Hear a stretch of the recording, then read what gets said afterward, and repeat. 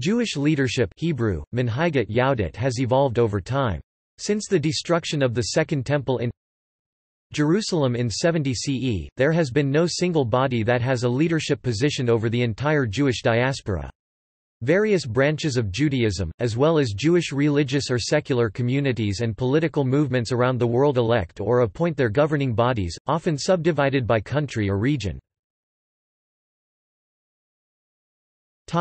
Historic leadership Topic: Biblical leadership before 70 CE. During the era of the Tanakh, various forms of leadership developed. There were the heads of the original Hebrew tribes, and then also prophets such as Moses, Jeremiah and Samuel and whose words inspire people to this day, judges such as Samson, kings such as David and Solomon, priests of the Temple in Jerusalem, and the Sanhedrin which was the judiciary.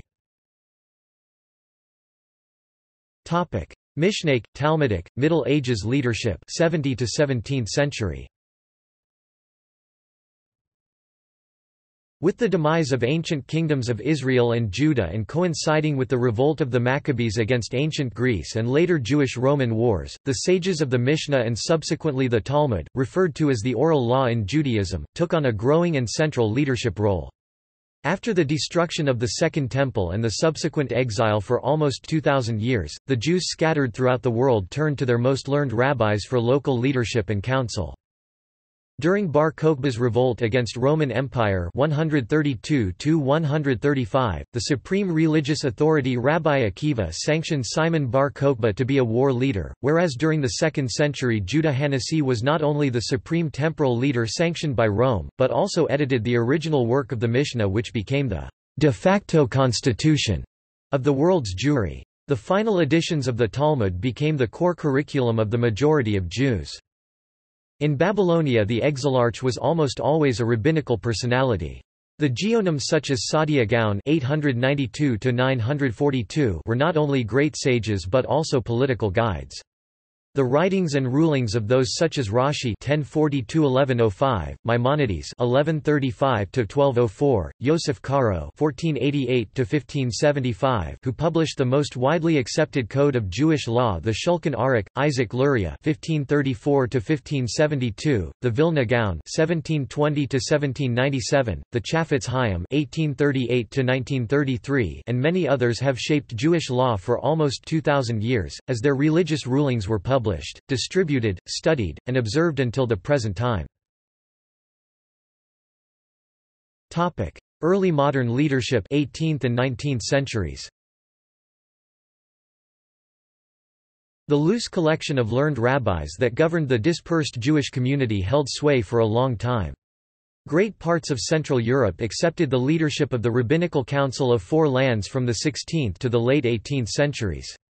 In the Eastern Europe, in spite of the rivalry between the schools of thought of the Vilna Gaon or the GRA, Rabbi Elijah ben Solomon, 1720–1797 of the Mitnagdim, who spoke against Hasidic Judaism and Baal Shem Tov Rabbi Israel ben Eliezer, 1700–1760, the founder of Hasidic Judaism, rabbis were regarded as the final arbiters of community decisions. Tens of thousands of responsa and many works were published and studied wherever Jews lived in organized communities. In Western Europe, especially in monarchies, where no equal rights were granted for the Jewish population, Radical Maskilim defined the new role of religion as an education of just citizens, like Moses Mendelssohn in his book Jerusalem or on religious power and Judaism which was a response to the Prussian reformer Christian Wilhelm von Dohm. The radical tendency of the pedagogic movement went so far, that Mendelssohn's student David Friedlander identified Judaism with the seclusion of modern European culture and secular Judaism could end up in conversion to the religion of the unsecularized state. In contradiction to his teacher early modern leadership turned out to be misled leadership, whose followers ended up as Jewish citizens without any conscience. Modern religious leadership after 19th century. Topic: Decline of rabbinical influence. With the growth of the Renaissance and the development of the secular modern world, and as Jews were welcomed into non-Jewish society particularly during the times of Napoleon in the 18th and 19th centuries, Jews began to leave the Jewish ghettos in Europe, and simultaneously rejected the traditional roles of the rabbis as communal and religious leaders. New leaders such as Israel Jacobson, father of the German Reform Judaism movement, launched an egalitarian, modernist stance that challenged the orthodoxy. The resulting fractures in Jewish society has translated into a situation whereby there is no single religious governing body for the entire Jewish community at the present time. Modern synagogue leadership In individual religious congregations or synagogues, the spiritual leader is generally the rabbi. Rabbis are expected to be taught in both the Talmud and the Shulchan Aruch code of Jewish law as well as many other classical texts of Jewish scholarship. Rabbis go through formal training in rabbinical texts and responsa, either at a yeshiva or similar institution. Rabbi is not a universal term however, as many Sephardic rabbinic Jewish communities refer to their leaders as hakam wise man". Among Yemenite Jews, known as Taimanim, the term mori my teacher", is used. Each religious tradition has its own qualifications for rabbis. For more information, see Semika ordination. In addition to the rabbi, most synagogues have a hazan cantor who leads many parts of the prayer service. Topic: Orthodox and Haredi rabbinic leadership. In Israel the office of chief rabbi has always been very influential. Various Orthodox movements, such as Agudath Israel of America and the Shas Party in Israel strictly follow the rulings of their Rosh Yeshivas who are often famous Talmud scholars. The last Rebbe of Lubavitch, Rabbi Menachem Mendel Schneerson, the late Rabbi Elazar Menachem Shach, and Rabbi Ovadiah Yosef in Israel are examples of powerful contemporary Haredi rabbis. The Haredi Aguda movements receive and follow the policy guidelines of their own council of Torah sages. In the Hasidic movements, leadership is usually hereditary. Reform, progressive, liberal, conservative, and Reconstructionist leadership Main articles, conservative rabbis, reform rabbis, reconstructionist rabbis and both the reform and conservative of Judaism. Rabbis are often trained at religious universities, such as the Jewish Theological Seminary in New York City for the conservative movement, Hebrew Union College for the American Reform movement, and Leo Baeck College for the UK liberal and reform movements. The reform, conservative, and reconstructionist traditions each have their own governing group or individual leaders. Membership in these governing groups are selected by representatives of the Jewish community they serve, with Jewish scholarship considered to be the key factors for determining leaders. These governing bodies make decisions on the nature of religious practice within their tradition, as well as ordaining and assigning rabbis and other religious leaders.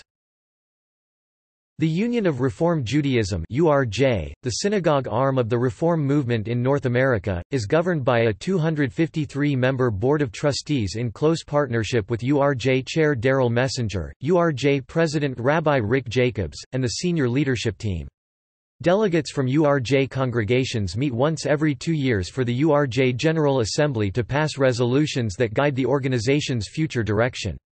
The body of conservative rabbis is the Rabbinical Assembly, which maintains a committee on Jewish law and standards.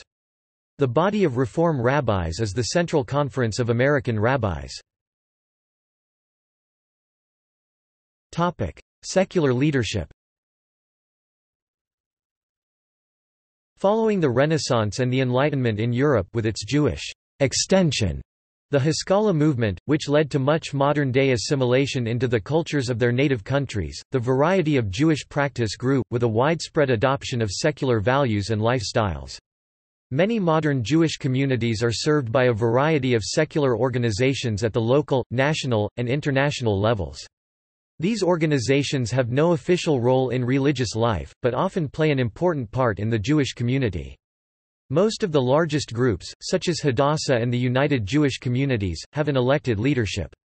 No one secular group represents the entire Jewish community, and there is often significant internal debate among Jews about the stances these organizations take on affairs dealing with the Jewish community as a whole, such as antisemitism and Israeli policies.